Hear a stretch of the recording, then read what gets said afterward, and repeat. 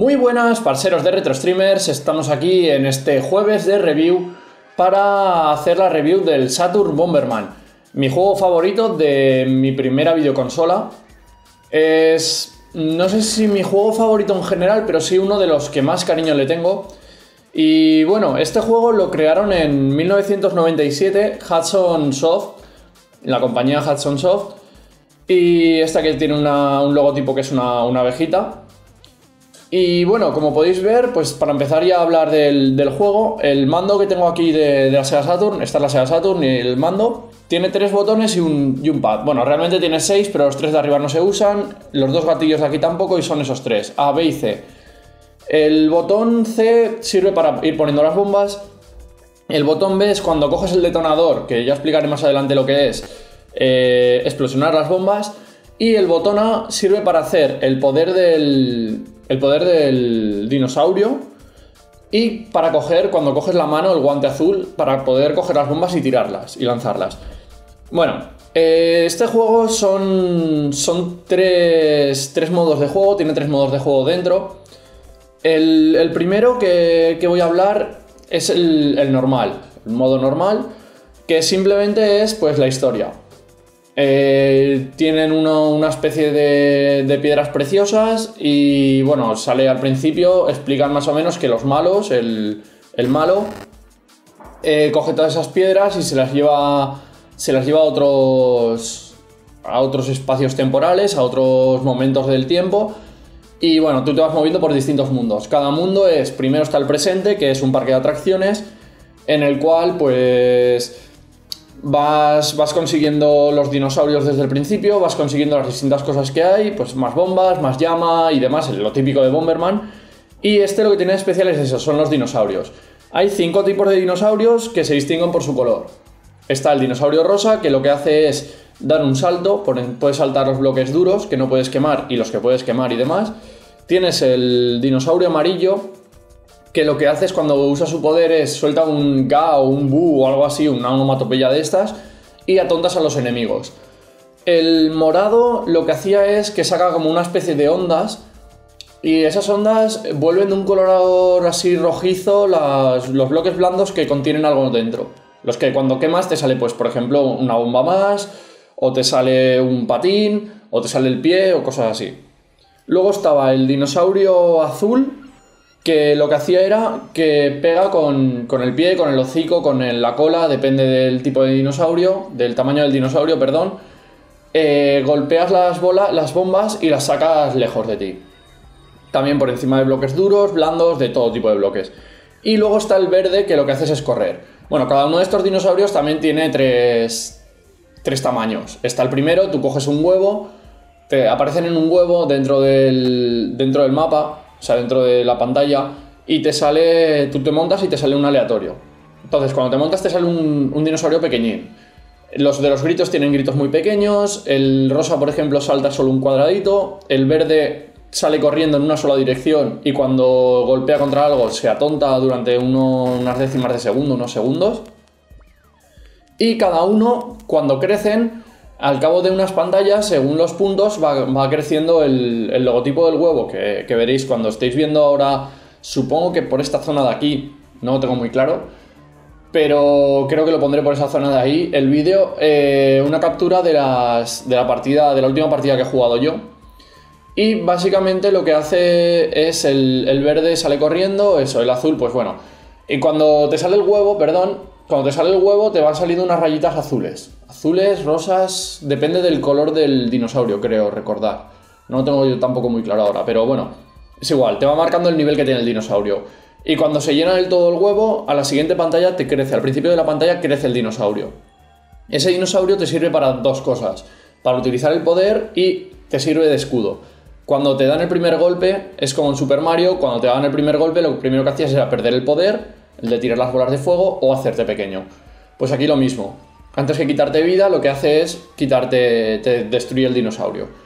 Entonces, eso, tal y como van creciendo, pues el rosa, por ejemplo, pasa de saltar un cubo a saltar hasta cuatro, creo que salta el último, el más grande.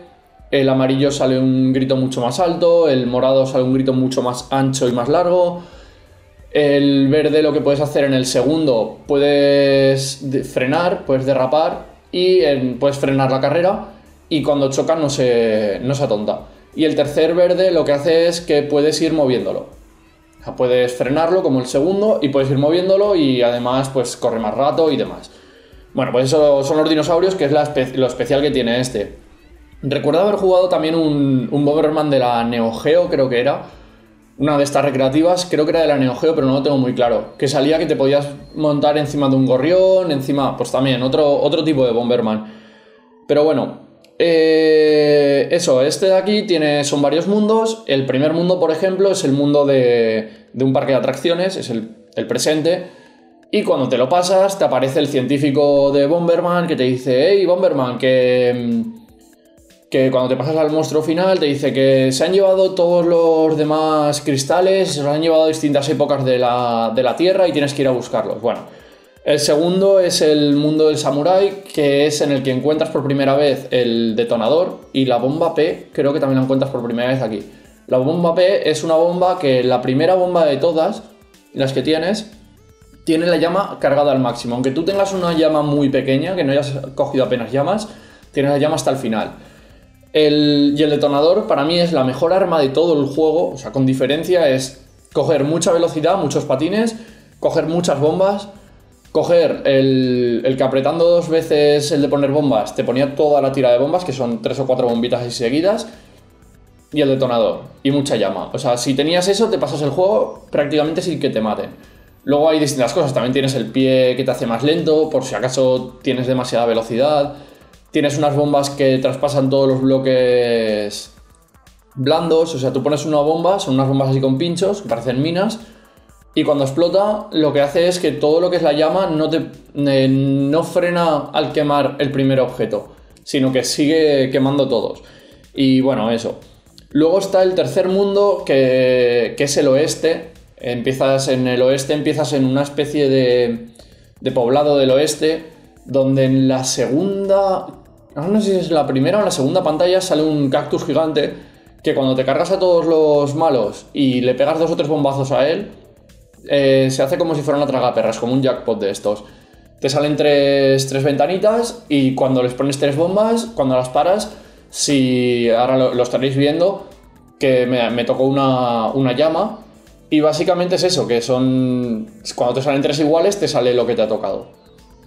Eh, luego eh, después de eso te metes en una especie de minas que tienes unos los bichos malos, esos que son así como, como, si fueran, a mí me recuerdan unos gatos, no sé si son gatos que son, pero a mí me recuerdan una especie de gatos. Eh, son los malos y están en una especie de cañones que te van disparando bombas y se te hace un poco, te la lían un poco. Eh, la cosa es que este, este juego no es muy largo. De hecho es, no sé, serán un par de horas jugando tranquilamente, dos, tres, tres horas a lo mejor, el modo aventura este. Eh, los speedruns están en torno a los 40, 45, 50 minutos más o menos por YouTube, los que he visto yo. Si habéis visto alguno, podéis comentar, ponerlo en los comentarios, decir, pues mira, eh, vi uno de tal, o mandárnoslo por, por privado en YouTube, o por Twitter, por donde sea, porque a mí me gustaría verlo. La verdad es que tengo una espinita clavada porque yo me lo llevaba a pasar en una hora y dos minutos. Son 10 minutos más, de 10 a 20 minutos más que los speedrunners profesionales, por decirlo entre comillas. Y quiero, quiero algún día pasármelo en, en un directo, el día que tenga conexión a internet buena para poder hacer directos. Eh, mi primer directo estoy seguro de que será eso, será el Bomberman. Intentar pasármelo, hacer una especie de speedrun, intentar ir a todo lo que dé, intentar pasármelo lo antes posible. Ya os digo, de los, profesionales están entre 40 y 50 minutos, yo estoy en una hora. Eh, también he visto gente por YouTube que pone speedrun y hora 30. Y dices, en hora 30 te da tiempo hasta ir poniendo pausas para ir al lavabo. O sea. Pero bueno.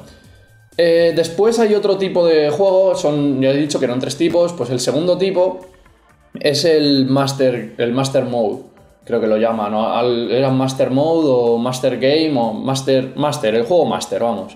Que básicamente es eh, lo típico de que te ponen los juegos de lucha y demás de la torre o el foso, de ir subiendo pisos o ir bajando pisos, pues lo mismo.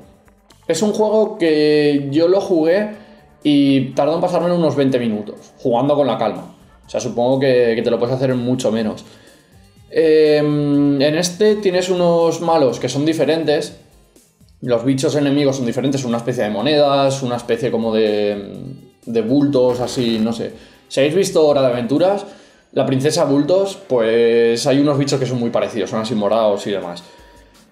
Eh, básicamente la historia para este es que está el... Está Bomberman, hay un, Bomberman y quiere seguir el Bomberman Way, el camino, camino del Bomberman. Y para eso se tiene que adentrar en un, en un templo y salir victorioso de ese templo. Y básicamente es eso, es pantalla tras pantalla, ir subiendo, subiendo, subiendo hasta que te los pasas a todos. Son, creo que son tres fases, tres o cuatro fases, que te salen tres o cuatro monstruos finales. Y el final final, que es una especie de dragón verde, que la verdad es que nunca me lo había pasado y el otro día cuando lo probé, fue el día que me lo pasé. Y bueno, eso, al final te dan una especie de diploma de muy bien, te has pasado esto en este tiempo, deja tu... O sea, escribes tu nombre y puedes luchar contra ese tiempo. Es una especie de contrarreloj. Y después está el modo que a mí más me gustaba de pequeño. Jugaba contra mi hermano y contra mis amigos. Y era el modo batalla. Siempre ha sido el modo de Bomberman que más me ha gustado. O sea, las historias están muy bien, están muy guay lo de ir pasándote mundos, ir consiguiendo cosas, pero el modo batalla, el modo ese que tienes de todos contra todos, a luchar en el medio, en una arena pequeña y reventarte entre todos, me encantaba. Bueno, este modo, eh, para mí, solo, hay un, solo tiene un pequeño problema, este multijugador, con respecto a otros Bomberman que he jugado. Por ejemplo, el, ese que decía de la recreativa, tenía una cosa muy buena y es que todos los. Cada Bomberman, cada personaje que elegías tenía su poder. Menos Bomberman blanco, negro. O sea, los típicos Bomberman, que eran 7 u 8 de 7 u 8 colores distintos todos los demás tenían su superpoder. Por ejemplo, había un bicho con un capuchón azul que traspasaba bloques y demás. Bueno, en este no, en este simplemente tienes tu. Cada uno tiene su traje. O sea, está Bomberman blanco y negro. Está. Hay una chica. Es que no recuerdo cómo se llama. Que llevaba un traje así de vaquera. Estaba un tal Manjimaru. Es un tal. O Manjimaru que sale en otros juegos, que sale así con una katana, con el pelo morado. Estaba Kabuki, que era un tío así con abanicos y un pelo. O sea, de los Kabuki, de los, de los teatros estos japoneses y demás. Había varios. varios personajes así. También había. Eh, son ocho pantallas distintas. O, escenarios. Eh, que están el normal, que es. No sé qué, of Glory, que es como. El, el sitio de la gloria o algo así, no sé. Simplemente es que los dibujitos son, son rollo griegos y demás. Bueno, a mí me recuerdan a Grecia, al menos. Y básicamente es el, plano, o sea, el mapa plano, normal. El fondo con todas las cosas, los bloques duros y todos a matarse en el medio. Eso sí, podías jugar hasta 8, creo que es. No sé si es hasta 8 o hasta 12 jugadores a la vez. Es una locura, es una maldita locura jugar más de 8. Pero bueno, se puede. Eh, luego estaba el estadio de fútbol. A ver, estaba el normal, estaba el estadio de fútbol, que básicamente es que hay dos porterías a los laterales y si chutas una, bomba, una pelota, una bomba para, para el lateral ese, se mete y, sale, sale una llama que cruza casi todo el campo. Creo que no sé si sale una o dos llamas que cruzan casi todo el campo. Tienes también la jungla, que la jungla es que hay como un montón de palmeras o algo así de hierbas y demás y casi no ves nada. Está el desierto, que el desierto lo que tienes es, hay un, torbellino que da muy, mucho por el saco, que te va persiguiendo, va persiguiendo a los jugadores y los atonta. O sea, te, levanta en el aire y te atonta. Te puede salvar de alguna explosión, pero por lo general lo que hace es liártela. Luego tienes la, nave espacial, la nave espacial estaba muy chula, tiene tres, tres botoncitos en el medio de la nave, que tú pasas por el del medio y se queda todo a velocidad normal. Y ves el fondo ves el fondo normal y porque es como si estuvieras en una especie de cristalera de la nave donde ves el espacio. Entonces, y se va moviendo por detrás, va bajando el espacio y tú vas como si la nave fuera navegando por el, por el espacio. Entonces tú pasas por el medio y en el medio lo que hace es que todo va a velocidad normal. Si pasas por, por el de la izquierda o por el de la derecha, hay uno que es una flechita para arriba que lo que hace es que tú te mueves muy muy rápido dentro de la nave y el fondo se mueve muy lento. Y en el otro es al revés, el fondo se mueve muy rápido y tú te vas moviendo muy lento por dentro de la nave. Entonces puedes liársela a la, gente con esas cosas, poniendo bombas o bien pasando por encima. Eh, tenemos también en el... En el esto está el, el parque de atracciones. Buah, es que a ver, a ver si lo recuerdo todos. Eran 8, llevaré 4, 4 5. Pues está el parque de atracciones. Sí, está el parque de atracciones que lo que hacía era eh, te saltabas. O sea, tiene una especie de, traps, de. una especie de trampillas, que lo que hacen es hacerte saltar. Luego estaba la Casa Samurai, que también, que es como el segundo mapa del, del modo historia, que son todos samuráis y demás. Y eh, en ese lo que hay son unas trapdoors que se levantan y te mueven. Te mueven, simplemente te mueven un, un espacio y no puedes andar por allí, cuando te quedas parado encima. Y está el, el Factory, el Factoría, el Fábrica, no me salía en español, eh, que lo que hacías era eh, son, hay una especie de flechitas por dentro de- del juego, o sea, dentro del mapa, y lo que haces es cuando tú chutas una bomba para esa flechita, esa bomba va a seguir la dirección de la flecha. O sea, si llega a tocar esa flecha, va a seguir la dirección de la flecha. Entonces lo que puedes hacer es desde un lateral chutar la bomba y entonces mandarlo para, para otro lado. Bueno, son los, los ocho tipos que hay. Eh, aquí también están los dinosaurios. La diferencia con el otro es que para hacer evolucionar un dinosaurio y que crezca de tamaño, lo que tienes que hacer es que coger otro huevo. O sea, tú en el modo historia coges un huevo y haces crecer a ese dinosaurio a través de las pantallas. En este lo que haces es coges ese huevo y para hacerlo crecer coges otro huevo. Entonces te crece al tamaño mediano y otro huevo más te crece al tamaño grande. El, el final, esto es básicamente acabar con los demás. O sea, si juegas un escenario y matas, o sea, y llevas un huevo y acabas ganando con el huevo, con el dinosaurio, en el siguiente vas a salir sin dinosaurio, empiezas desde cero. Empiezas desde cero, a no ser que pongas una de las opciones, que es una máquina de estar del gancho, como, como Toy Story, que llevas el gancho y. O sea, el gancho y esas cosas que cogen a los. a los extraterrestres. Pues lo mismo, tienes una máquina con unas cuantas posiciones, 9-10 posiciones, posiciones, y mandas el gancho para donde quieres. Entonces coges uno y es al azar. Te sale al azar algo y te sale pues a lo mejor una vida extra, o te sale un pie, o te sale el guante, o mil cosas. O sea, cualquier objeto del juego te puede salir.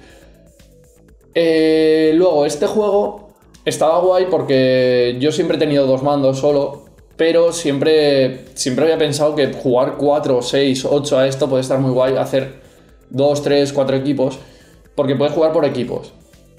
Hay varios tipos de juego dentro del modo batalla y uno está por equipos y si no en individual. En por equipos está muy chulo porque tú te metes todos en un equipo, entonces con que sobreviva uno solo, gana todo el equipo la, copa. Va por copas. Eh, es una especie, realmente es una especie como de... mm, de partido de fútbol. Es, es un estadio gigante con un montón de gente y los Bomberman se pegan en el medio.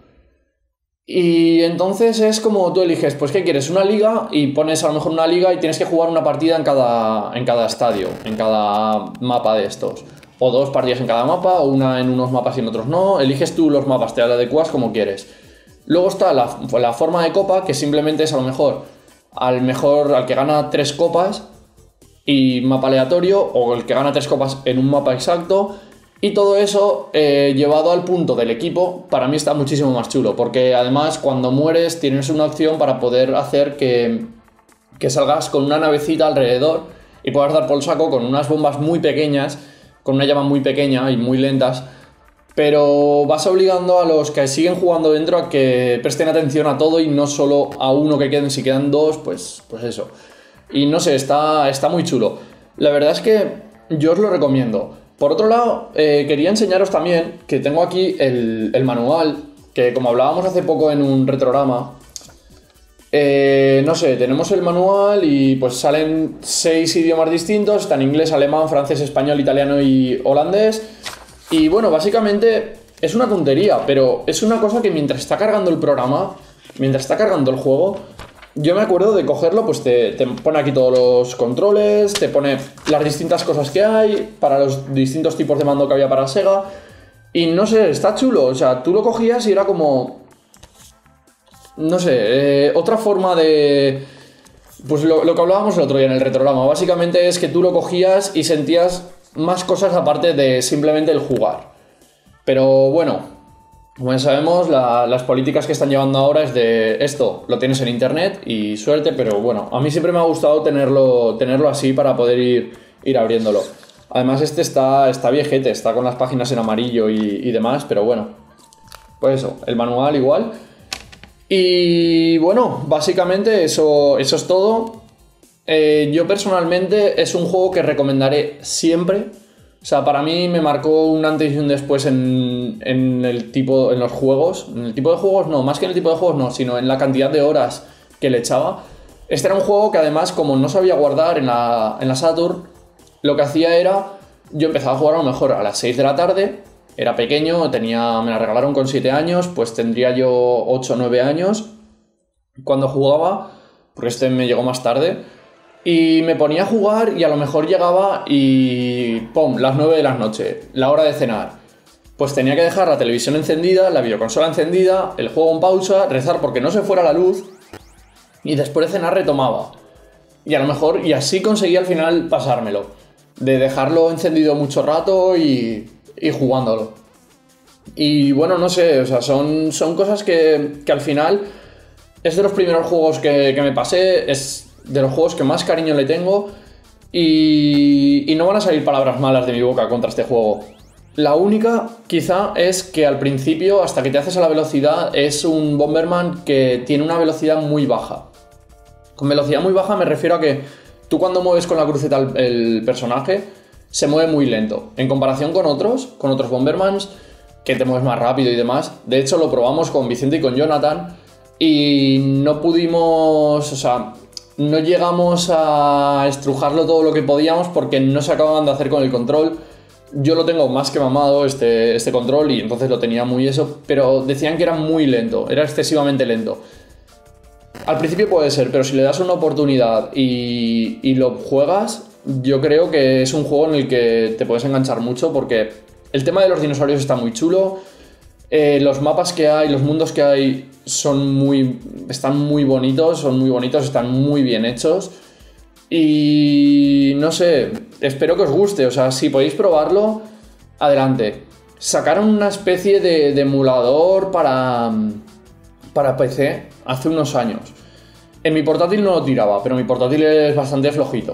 O sea, mi portátil es tirando, ya tiene sus 6 años y está un poco ya renqueante. Pero recuerdo que, era exactamente el mismo juego y se podía jugar, porque lo, lo, probé. Pero bueno, teniéndolo con la videoconsola, pues eso. Además, no es de los juegos caros de, de Saturn, no es de los que más pasta valen. Y si podéis encontrarlo, yo lo compraría sin dudarlo. O sea, de hecho, este lo tengo bastante rayado y como encuentre otro, pues me lo, me lo compraré.